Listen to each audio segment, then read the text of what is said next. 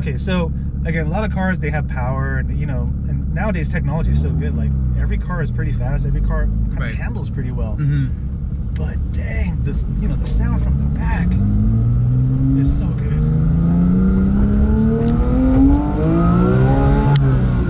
Oh my gosh, dude. Just the sound. Oh my gosh. Got angry panthers back there. How is it that fast? it's true. The, the the Porsche horsepower is a lie. That's not 400. No. Like how? I asked the same question, man. Um,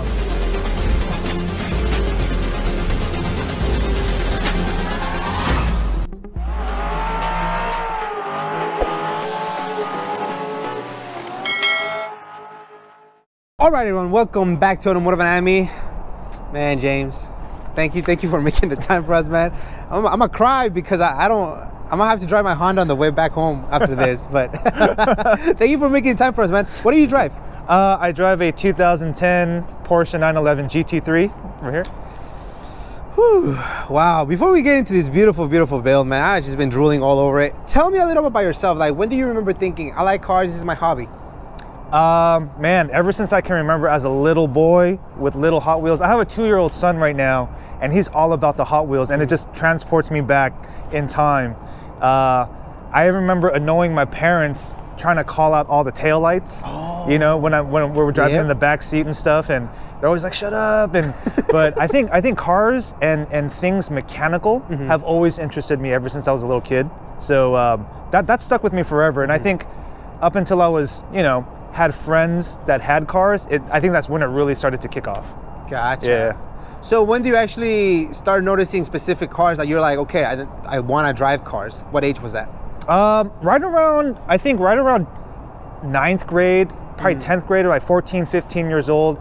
Got some of the older friends that got cars. They got older brothers who, you know, would do a little fixing up things and exhaust and here and there. And it was the coolest thing because maybe maybe some of you or I don't know, for you, you might remember when we used to like put little baseball cards in our bicycle like Yes. spokes to make Yes. noises and stuff. It was always that modifying, putting on pegs, taking off the pads and taking off the reflectors just to make it look Yep. slightly different. Yep. And that was the culture, man. And and uh, I think that part of it with skateboarding culture, all that kind of stuff growing up, it all kind of like points to cars for me. You know what I mean? That's funny you mentioned that because I also did the same thing, but I never put it. I, had, I hadn't heard anybody mention any of that stuff that we did to the bikes. I thought it was just a, you know, very few people did it. Right on. Okay, that's awesome, man. What becomes your first car? My first car was a hand-me-down car, uh, probably the best kind, right? Um, a 1992 Honda Accord four-door automatic uh, LX, and uh, yeah, Important because that's the lowest trim. yeah, you know, got the 14-inch hubcaps and all that kind of stuff. But yeah, that was that was the car where I think I learned how to how simple it was to actually unbolt something and just bolt something right back on. You know, I always thought cars were these like super complex, complicated engineering things, which you know a lot of the time they are, but they're also very simple too. You know, simple to work on. It says the German owner. I know, Are you? Like, kidding? I know. You chose like the worst car to describe. Simple. These dudes go above and beyond to make it complicated. We'll put a we'll put a, a, a 92 Honda Accord like Photoshop right here real quick. Yeah, man. I mean, it sounds like you started with an exotic and you've been downgrading to this car, whatever. What is it, a Beetle? All right, man. So when does the Porsche bug start for you? I think the Porsche bug probably bit. It was weird. Um, I never dreamt that I could own a car like this. That was Welcome that to was the just- club. you know, and and it.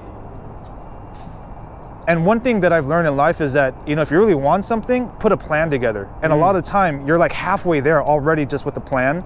And I think meeting other people with that same mindset with people that are into cars, it, it was it was like a, you know, kind It of was like a bound to happen. Exactly, exactly. Wow. Okay. Yeah. How do we stumble upon this one? When How did you find out how long you had it this for? one? Um, so a buddy of mine that I race with um, in the Beamer Challenge series, he's a he's a big BMW guy and a big Porsche guy, Mm-hmm. and he's had actually owned this. He, he was the previous owner of this car, and he used to drive it all the time. Um, cruise around in it and i always remember just saying man damn one day that'd be nice Yep. one day that'd be nice one day we're just chilling out and i kind of just said it in like a joking way i'm like man would be really nice to have this car one day. And he's like, hey man, let's talk. You know, let's let's actually talk. So it slowly just kind of morphed into that. Wow. And um, crunching some numbers, uh, trying to save some money. You know what I mean? it wasn't like it was just right there, but you know, did a little hard work to get it there. Oh, that's amazing, man. And how long ago was this? You said? 2019. So, if Going- any of y'all remember, um, right before the pandemic, car prices were pretty normal, um, and then they got crazy. So, Mm-hmm. Especially for Porsche. Yeah, Porsche yeah. was times two crazy. yeah, man, it was. I was like, "What the hell's going on?" So, uh, it felt like a good time, you know? Yeah, I, you tell the wife, I told you it was an investment. that is a true story. I, I was like, "Hey, babe, uh, you know it's a GT car. It's a rare spec, and blah blah blah." And she's Sure, like, buddy. "She's like, sure, I'll entertain your whole pitch." You know what I mean? But she was cool about it. That's cool, Yeah. man.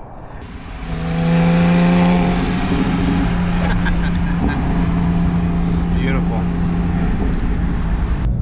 What do I not like? Oh, the only thing that I could say that I don't like about the car is that it's just, um, you know, it's a 2010. You know, there's no smartphones then. So, like some of the connectivity and things, Mm-hmm. it's a very minute, you know, pet peeve, but that's all. Okay. You know, What clutch are you running? it is a uh, stock clutch. Stock clutch.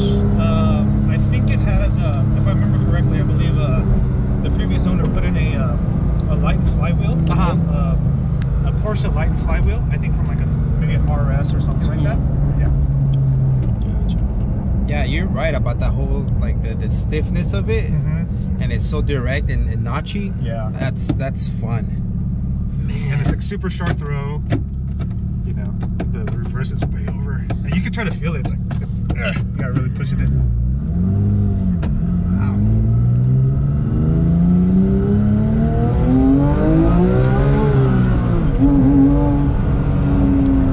Wow. I'm so sad. This car's so awesome. I won three of them. Oh man. It's the perfect sound. Like, Love it from back there. man.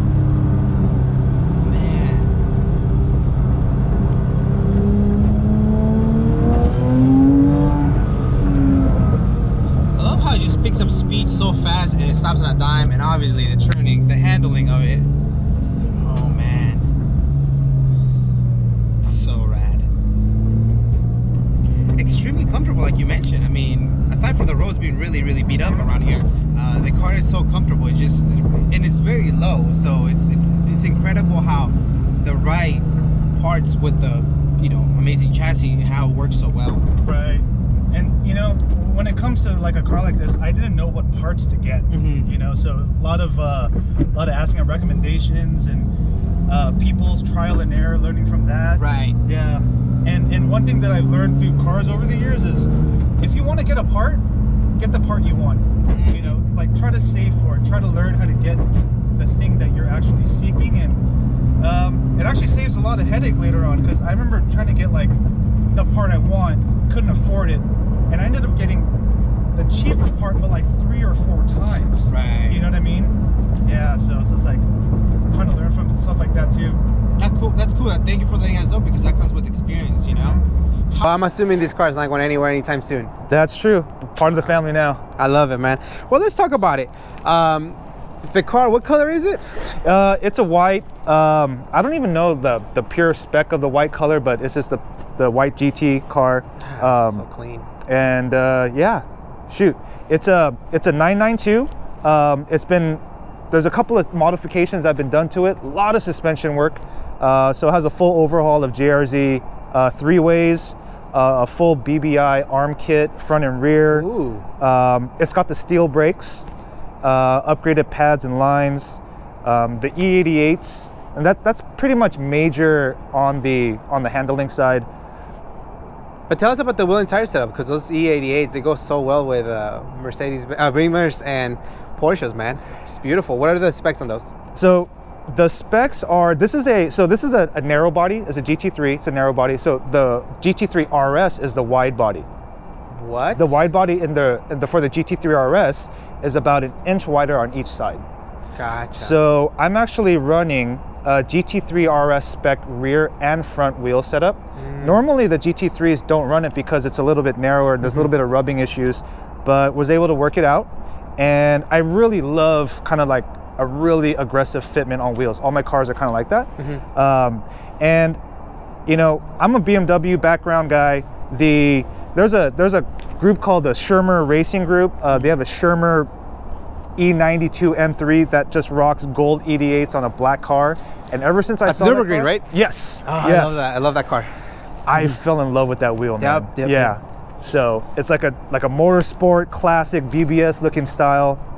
Love the mesh, you know. Gotcha, gotcha. Yeah. And so, do you know the specs on them?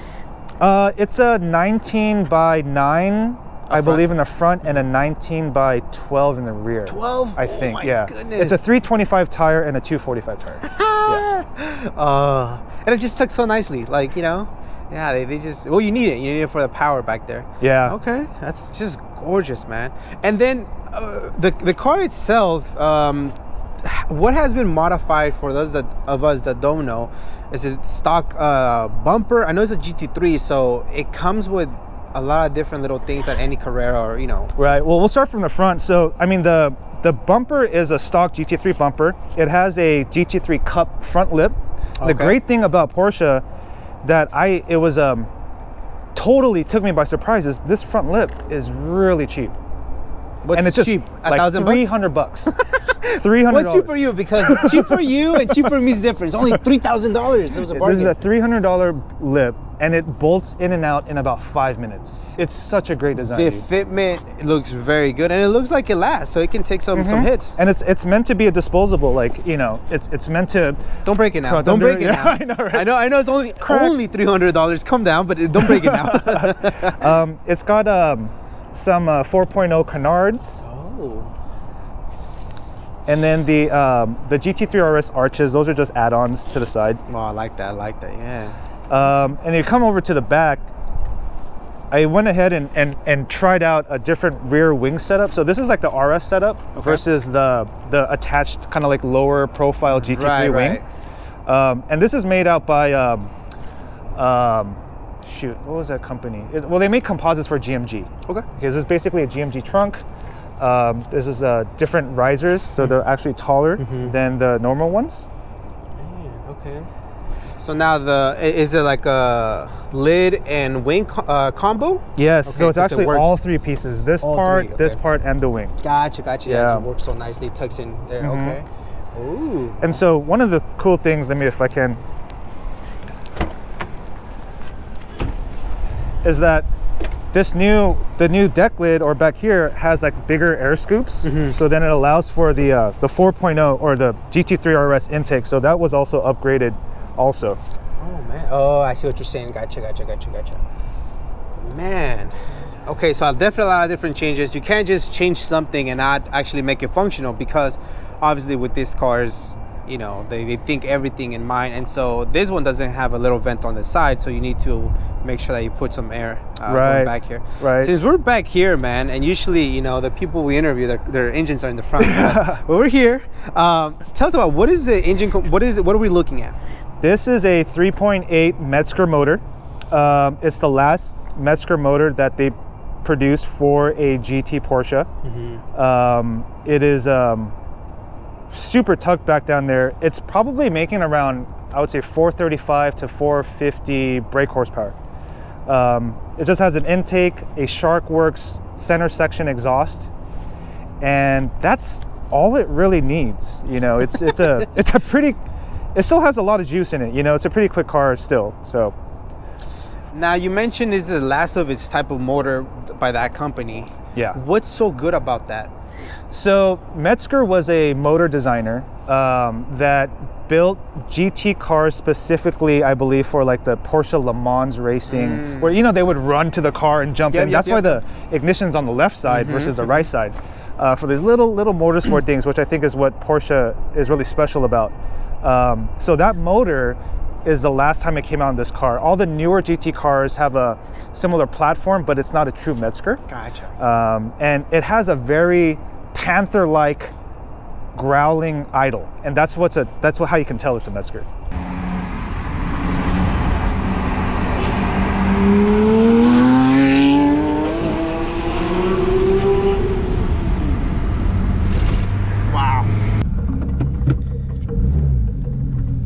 To put the little lever up, so there's no way you can accidentally Right. put it into the Yeah, reverse. there's a lockout for the reverse, and um, I don't know. It, it becomes a it's it's, a, it's definitely a non-valet driver friendly shifter.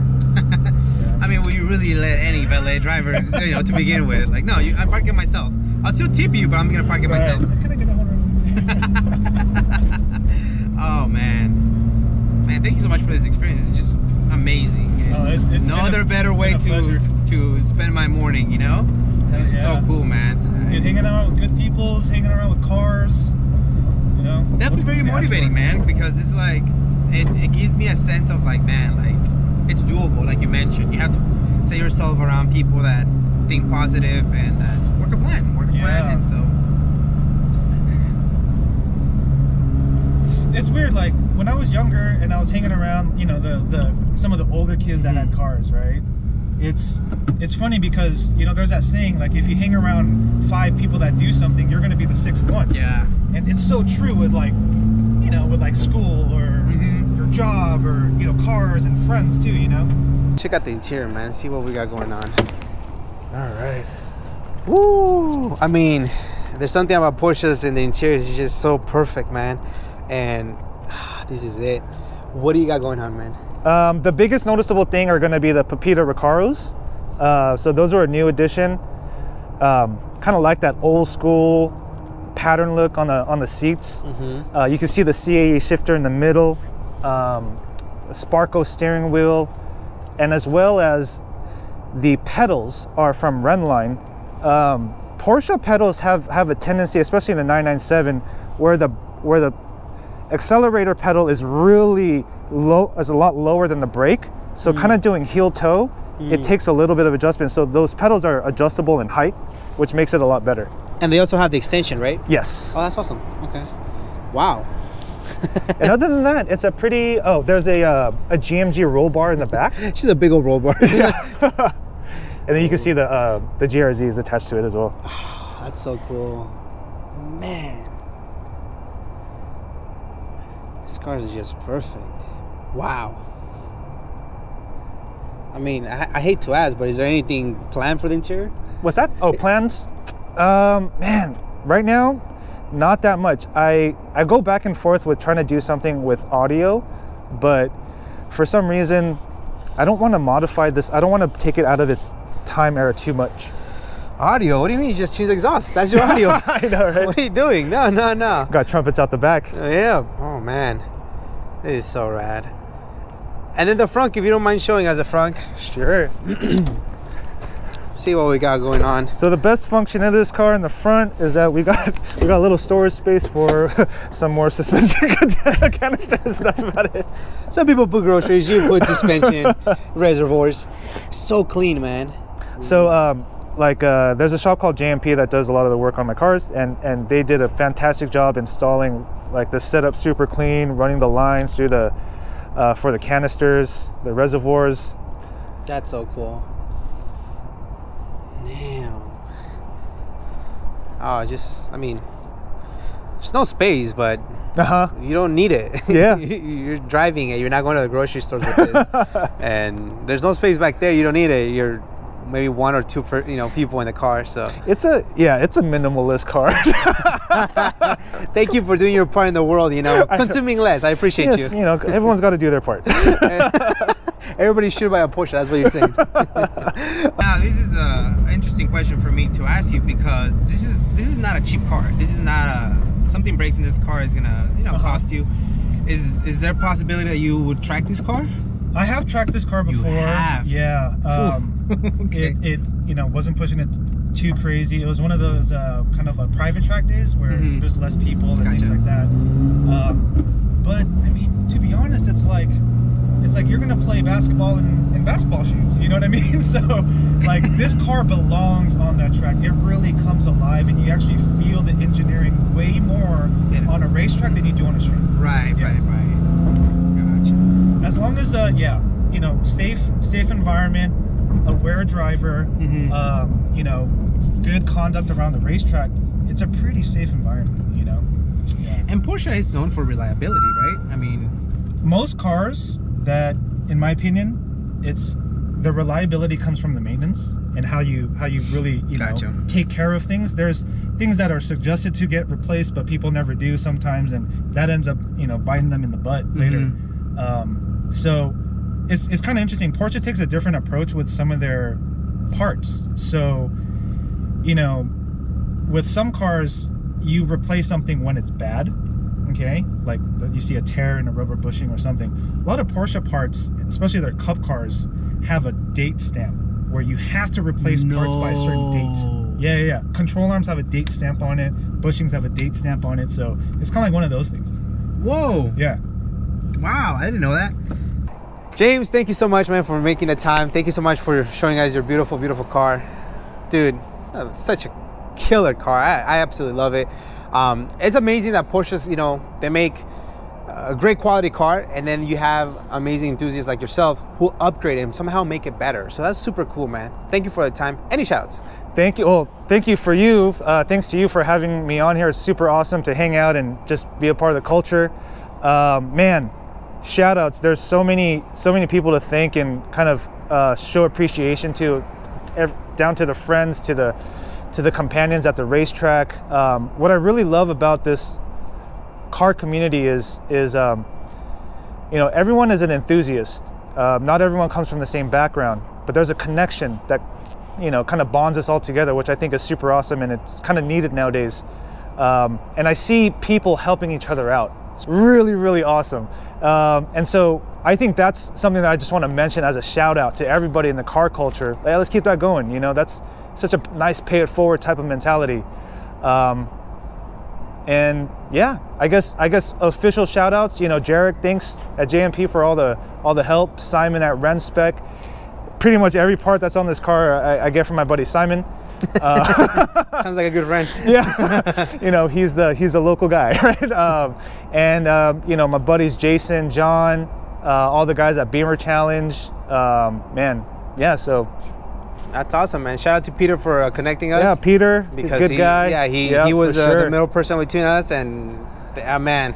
It's like I have a cool friend with the cool cars. I was like, okay, who? And then he showed me the cars. Like, okay, yeah, ask him for me, please. So thank you, no, thank you, thank you, Peter, man. I definitely appreciate. it. I love what uh, you guys are doing as a, as a car culture and specifically more on the track end of things. And so, man, can't wait to see what this this car holds for you. Uh, Thank you. And, and yeah, stay in the family forever, man. And I'll be joining you soon. You know, with the Right Porsche. on. When I don't know, but I- I'll be definitely joining you, Uh, we'll be doing those cruises, man, for sure. There you going, go. Going up the crest. There you go. Appreciate it, man. Thank you for your time. Thanks, man. Does it feel like it still wants to kick a little bit? It does, yeah, and especially because the the car is rear weight biased. It's a different handling experience than like a you know like a regular rear wheel drive car with a, with kind of like a 50-50 weight balance. Yeah.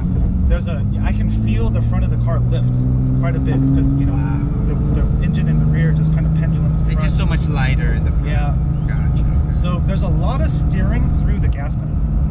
Oh, okay. You can make it right here. That'll take us back to the coffee shop. Yeah. Wait, so they're steering through the gas pedal? in a sense, First where, time I've ever heard that. In a sense where when Man, you Porsches are really different, man. Just coming up with all these fake things. I know I'm just making everything yeah. now. the engine's in the front, not even in the back. I'm gonna, get a, I'm gonna get a phone call from Porsche. They're like, what the hell, what the hell are you saying, man? Who are you? That's funny.